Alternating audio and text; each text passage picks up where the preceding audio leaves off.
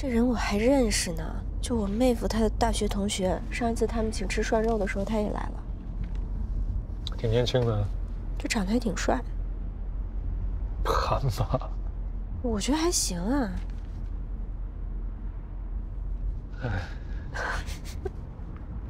看没看完呢？是看照片还是看资料啊？看完了。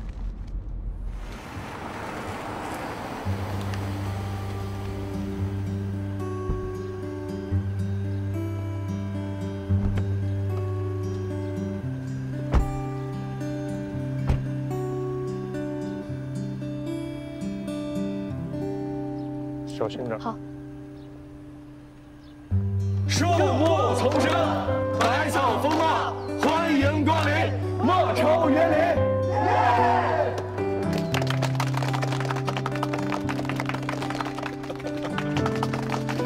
你好，李总，我是莫愁园林创始人令达，李光。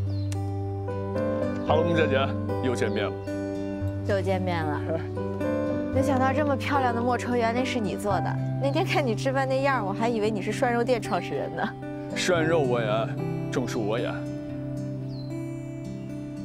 那我们进去聊。好，走，来这边请。哎，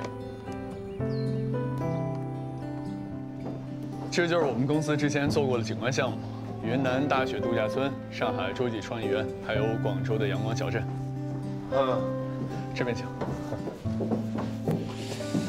这么说，你们是做园林设计起家的？啊，对，我本科学的是化学专业，跟高畅啊，就是穆家姐的妹夫一样。但我特别喜欢绿色建筑，所以研究生的时候读了园林设计。回国以后自己开了一间工作室，一点一点做到现在。嗯，你们步子走得很踏实。我们就是一步一个脚印走到今天的。最开始公司只有我一个人，那时候公章都揣在口袋里面，带着到处流浪。这儿还真挺梦幻的，特别像童话里边。这是我跟我们这些小伙伴一起设计出来的。哎，你们这个绿植基地做的真挺好看的，大家都觉得很不错。谢谢我们家姐赏识。你看你喜欢什么，随便拿。那我就不客气了。不用客气。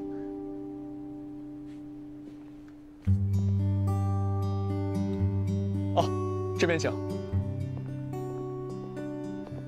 这边是我们用绿植建的一个背景墙。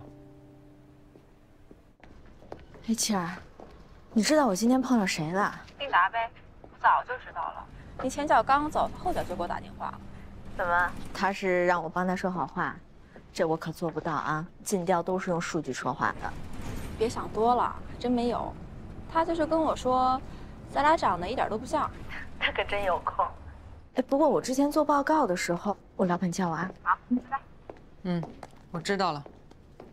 嗯嗯，好。好，嗯，好，拜拜。正好，我刚从莫愁园林回来。那个，我正式通知你一下，从莫愁园林那个项目退出来。为什么呀？因为你跟那个创始人认识。按规矩呢？按规矩，近亲才需要回避。我们俩就是认识，如果认识都需要回避，我们项目还做不做了？你先别激动，你怎么遇到事情就这么激动呢？我没办法不激动，这对我不公平。有公平不公平的？那你觉得，你要不愿意退出这个项目，啊，黎明集团放弃莫愁园林，对他们公平吗？为什么呢？说实话啊，我也不知道。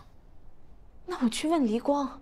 你几岁了？你三岁啊？这动不动问黎光问黎光，你能不能处理问题别那么情绪化呀？啊，讲究一点方式方法，别动不动的因为工作的事情去影响你们的感情，行吗？那恋爱是恋爱，项目是项目，恋爱可以讲情，项目就是讲理的。那黎光就是不讲理了，你怎么办？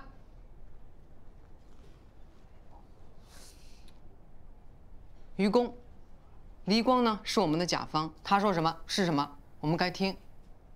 啊，他只要挥手签个字，我就能完成今年的 KPI。他要不高兴了，换个律所，整个团队跟着喝西北风。于是呢，我跟黎光认识不是一天两天了，这么多年来，我从来没见过他什么时候为了感情的事情这么丧失理智、胡作非为的。我觉得